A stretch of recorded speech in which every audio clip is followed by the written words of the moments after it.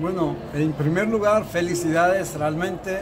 Eh, la experiencia que tuve, eh, la experiencia diplomática que tuve en el Uruguay con los orientales, en eh, todos, todas sus dimensiones intelectuales, me ayudaron mucho, me, me, me prepararon, me formaron para luego, cuando me nombraron como embajador en diferentes países de América Latina, pude cumplir bien mi papel y creo que este es el motivo que tengo un agradecimiento grande a los, al Uruguay en general, a la República, a su gente y, era una misión inolvidable.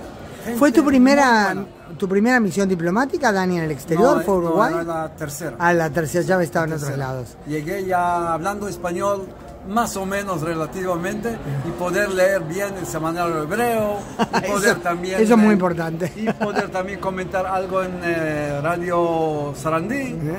Ah, muy bueno muy bueno. Así que era, era, era una linda época ¿Qué te qué quedó contigo Dani?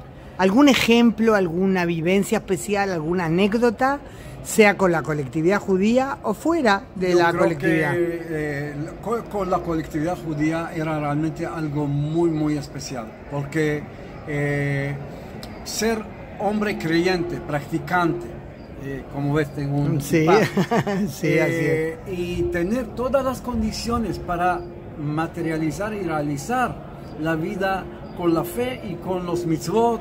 Aunque Uruguay es un país muy laico, la comunidad judía no es una comunidad religiosa. No es religiosa. Hoy quizás un poco más. Respetan la, la, la, las diferentes corrientes del judaísmo y me permitieron realmente sentir en familia, en casa y practicar mi, eh, mi eh, digamos, eh, judaísmo.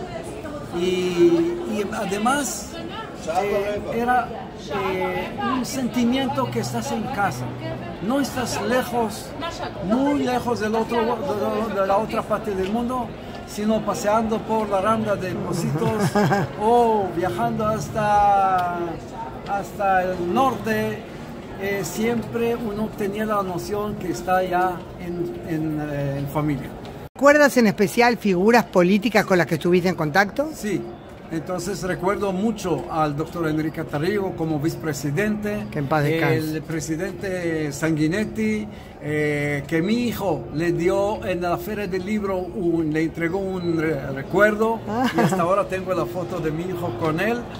Eh, recuerdo mucho eh, a Luis Alberto de la Calle con su pasión su pasión sobre lo que es la amistad con Israel. El, el y, presidente padre, sí. Y los los diferentes políticos, el doctor Tavares Vázquez como alcalde de, eh, de Montevideo. De, de, de, de, Montevideo. Que en paz descanse. En fin, realmente eh, era, eh, eran ilustres gentes, intelectuales, pero que también uno sintió eh, cómodo de el acceso a ellos, hablando con ellos sobre cualquier tema y siempre sale más sabio que antes. Qué lindo, y eso Dani. creo que valió la pena conocer en, el Uruguay y admiro, admiro su gente y le deseo todo lo mejor. Hermoso, Dani, muchas, muchas gracias.